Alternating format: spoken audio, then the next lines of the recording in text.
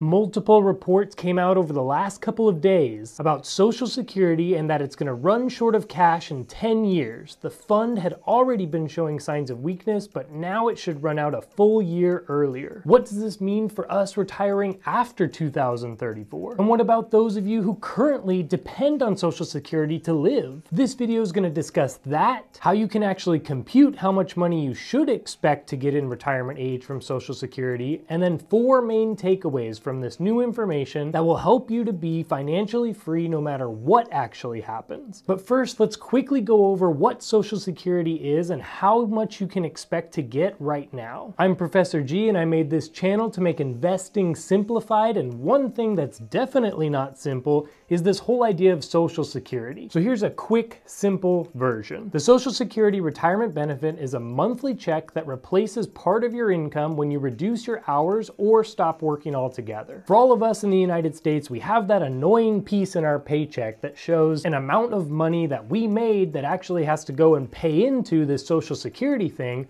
but we don't get the benefits of that Social Security right now. The idea is that the workers now are paying for and helping those who have already worked and are in retirement age. So we're helping them to be able to live and to be able to do their retirement thing with the idea that the next generation will then work and pay for us and help us in our retirement time. The big issue though is this whole report where it's saying that this might dry up in 10 years. And so if that's the case, those of us that are working right now, we're still having to pay into this, but we may may not get that benefit. Now this piece also says Social Security may not replace all of your income, so it's best to identify other ways to pay for your monthly expenses as you age. And we will definitely touch on that by the end of the video, so stick around for that. The average Social Security benefit is expected to be $1,827 per month in January of 2023. Social Security benefits are typically computed using average indexed monthly earnings. This average summarizes up to 35 years of a worker's indexed earnings. We apply a formula to this average to compute the primary insurance amount. So it's a somewhat complicated formula, but I promise I'm gonna show you how it gets easier and how you can even go look right now and see how much you're expected to earn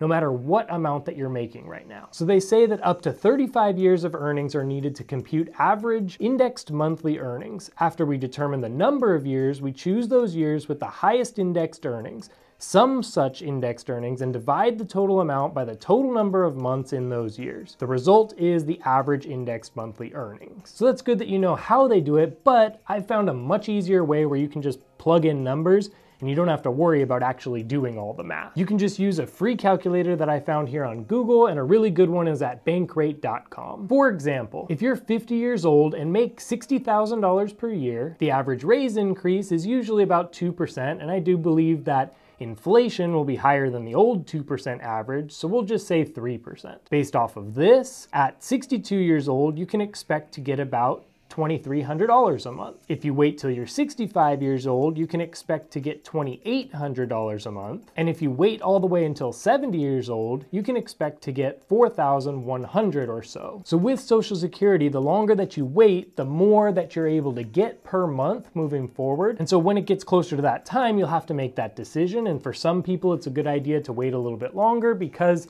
they like their job or their job isn't too stressful and they can do it. For some people, it's just a good idea to take it as soon as possible, especially if you have super low living expenses. But either way, that'll be an individual decision for each individual person. So let's talk about the recent news article. The Social Security program is expected to run short of cash to pay promised benefits in about 10 years, while a key trust fund for Medicare will run out of funds by 2031. Now, I've always told you on this channel to make sure that you dive deep. Don't just listen to headlines. Don't just listen to even one or two people on what they're having to say about this, but actually do the research yourself. Looking at any of these headlines and any of these crazy things, they're saying very scary stuff, but when you actually read what's going to happen, it gets a little bit better. You'll see that if this does occur in the way that they're saying, the worst case scenario, Social Security benefits will still be able to pay out at 80%. So instead of you getting like $2,500 per month, you'd be getting $2,000 per month. What absolutely is not being said is that Social Security is going to be depleted all the way to zero. Max Richtman, president and CEO of the National Committee to Preserve Social Security and Medicare, said Social Security is not going bankrupt. The program will always be able to pay benefits benefits because of ongoing contributions from workers and employers. So it's frustrating the way media does this, but they definitely get our attention and they make us have this fear. So now what do we need to do with this specific information? And what does this mean for us? Here are four things that I want you to think about and that I want you to do. Number one is that I actually don't want you to do anything because of this type of report. These type of reports are going to happen. Don't ever do anything out of fear or out of just rash emotional decisions just because of a scary headline. Have a plan in mind like we talk about on this channel and stick to it. Number two, and specifically from this headline and understanding what's actually happening,